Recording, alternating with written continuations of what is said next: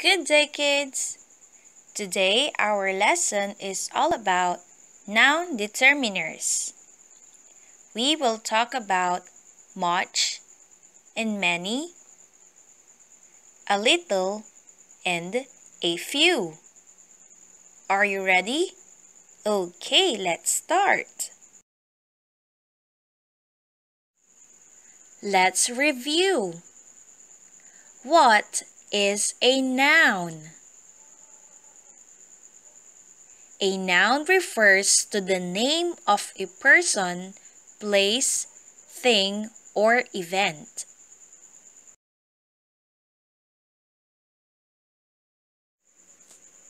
Count nouns. Say, count nouns. Very good. Count nouns are nouns that can be counted. Nouns under this type have singular and plural forms. Examples Balls How many balls do you see? Okay, let us count. One, two, three, Four. We have four balls. Next example. Crayons. How many crayons do you see? Let us count. One, two, three, four, five, six. Very good. We have six crayons here, namely red, orange, yellow, green, blue, and violet. These are examples of count nouns.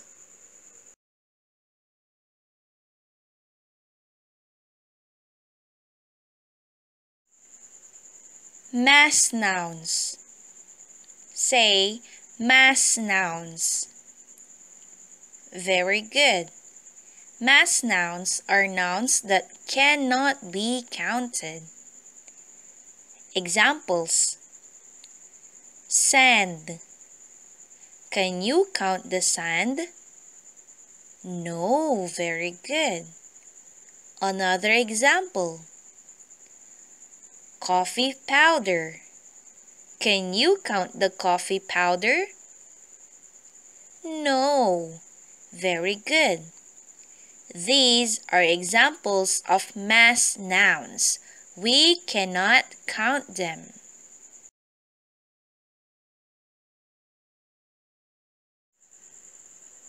Noun determiners show how much when they describe mass nouns and how many when they describe count nouns. They are also called noun markers because they are commonly placed before the nouns to modify in sentences. Mass nouns are always singular in number. Again, when we say mass nouns, we cannot count them. Singular means one. We use the determiners much and a little to measure the amount of such nouns. Remember, for mass nouns, we are going to use much and a little. Examples Salt. Salt is a mass noun because we cannot count salt. So here, much salt. Salt, a little salt.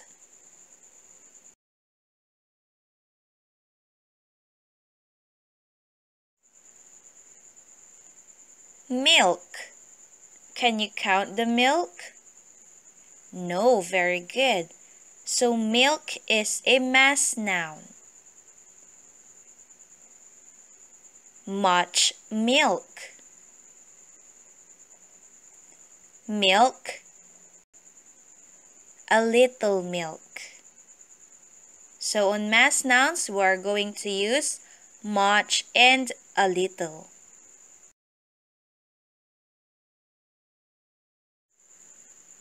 Look at the picture.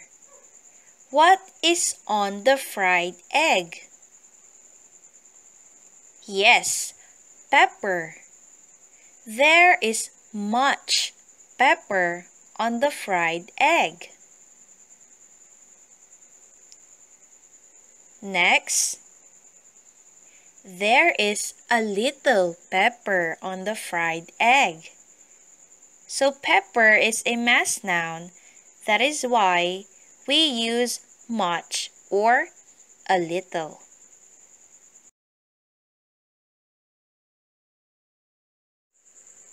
How about this one? What is on the bread? Very good. Butter. There is much butter on the bread. Another picture. Oh, look. There is a little butter on the bread. So we cannot count butter. It is a mass noun. Uh, that's why we make use of much or a little.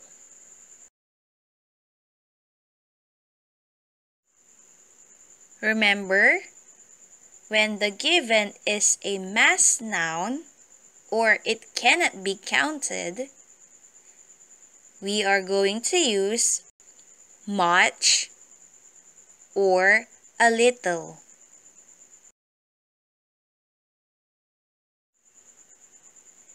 The determiner many and a few are used to describe plural count nouns. So when we say count nouns, we can count them, okay? When we say plural, it means more than one. So when the given is a plural count noun, we are going to use many and a few. Examples balloons many balloons. Another picture. So we have here one, two, three. Three balloons.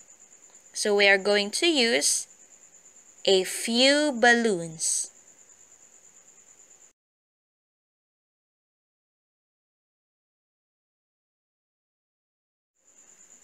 What can you see on the picture? Yes, they are rabbits. Rabbits is a plural count noun. So here we are going to use many. Many rabbits. Rabbits. Here we have one, two. Two rabbits. So we are going to use a few. A few rabbits.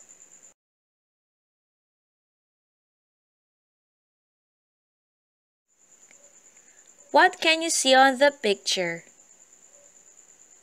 Yes, very good.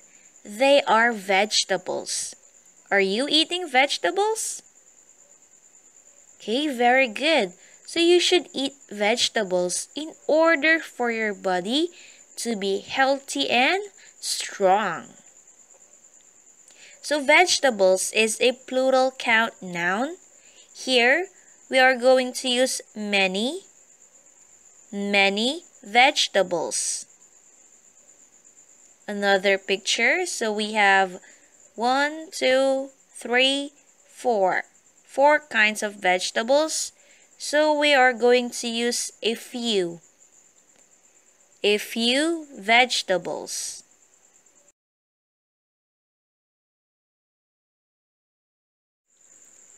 Last example. Children. children is a plural count noun. So here we are going to use many. There are many children inside the room. Another picture. So how many children do you see here? Yes, we have one, two, three. Three children. So we're going to use a few. A few children.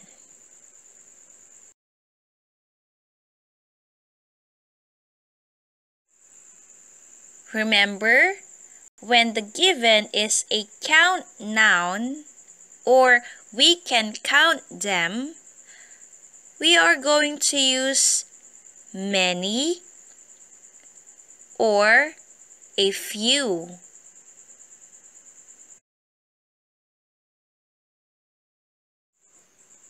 Summary For mass nouns or nouns that cannot be counted, use the determiners much and a little.